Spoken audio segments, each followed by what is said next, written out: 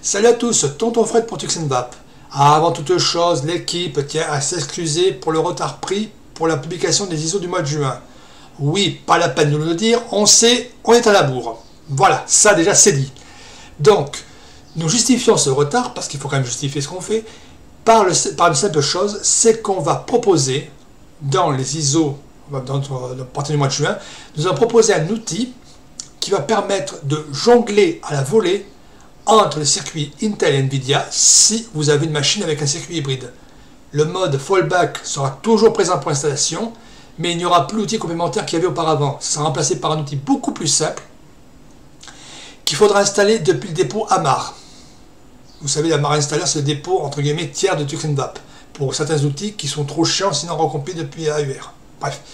Donc, cet outil sera un outil de sélection à la volée du GPU à utiliser, soit Intel, soit Nvidia, en fonction de vos besoins.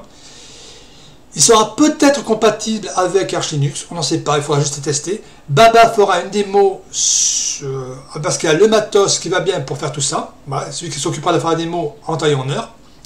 Il y aura bien sûr les, les, mises à jour au moment de la sortie, en espérant que Manjaro ne décide pas de sortir le lendemain ou le surlendemain, une énorme mise à jour.